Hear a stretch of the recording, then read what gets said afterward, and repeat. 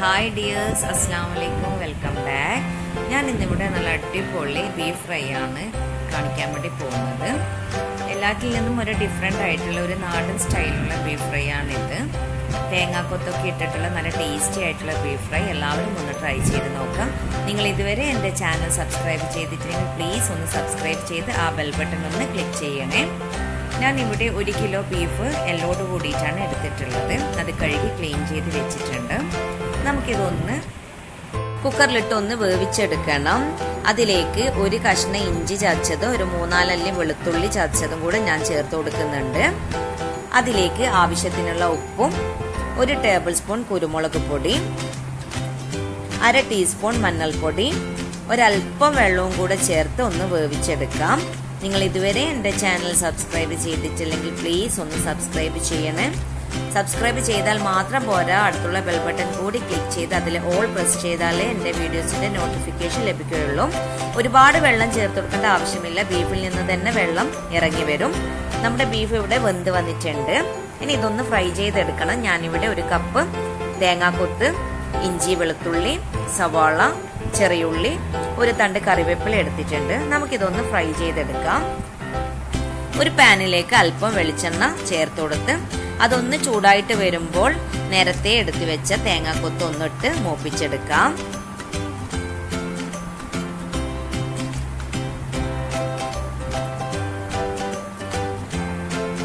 അതൊന്ന് മൂത്ത് വരുമ്പോൾ അതിലേക്ക് ഇഞ്ചി വെളുത്തുള്ളി ഇതുപോലെ വലിയ പീസസ് ആയിട്ട് കട്ട് ചെയ്തതും കൂടെ ചേർത്ത് കൊടുക്കണം.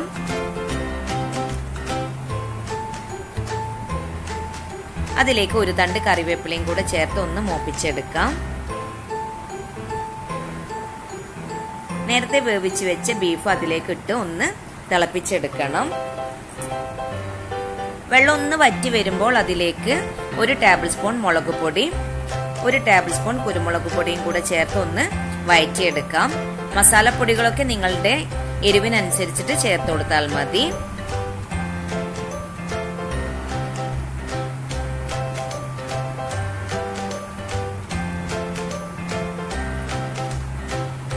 ഇതുപോലെ കുറച്ച് വറ്റി വരുമ്പോൾ അതിലേക്ക് കാൽ ടീസ്പൂൺ ചെറിയ ജീരകം പൊടിച്ചതും അര ടീസ്പൂൺ ഗരം മസാല പൊടിയും കൂടെ ചേർത്ത് വീണ്ടും വയറ്റി കൊടുക്കാം.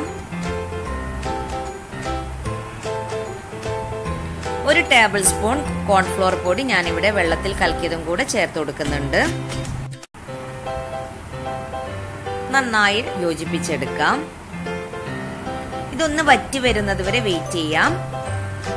ആവശ്യത്തിനുള്ള ഉപ്പും കൂടെ ചേർത്ത് കൊടുക്കാം. വറ്റി വരുമ്പോൾ അതിലേക്ക് അരിഞ്ഞു വെച്ച സവാള ചേർത്തൊന്ന് വീണ്ടും മിക്സ് ചെയ്തെടുക്കണം.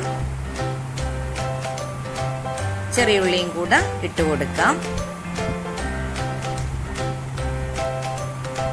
ഒരല്പം സോസ് കൂടെ ഞാൻ ചേർത്ത് കൊടുക്കുന്നുണ്ട്. ടൊമാറ്റോ സോസ് ഓപ്ഷണൽ ആണ്. നിങ്ങൾക്ക് വേണമെങ്കിൽ ചേർത്ത് കൊടുത്താൽ മതി. ഒന്ന് നന്നായി യോജിപ്പിച്ചെടുക്കാം.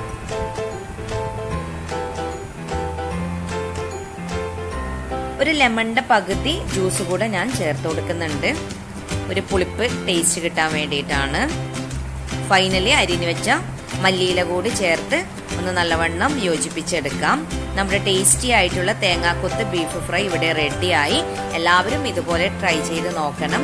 തേങ്ങാക്കൊത്ത് ഇടുമ്പോൾ ബീഫിന് നല്ലൊരു ടേസ്റ്റ് ഉണ്ടാവും. നിങ്ങൾ ഇതുവരെ ഇങ്ങനെ ട്രൈ ചെയ്തിട്ടില്ലെങ്കിൽ ഒന്ന് ട്രൈ ചെയ്ത് നോക്കാം. ഇൻഷാല്ല വീണ്ടും കാണാം. ബായ്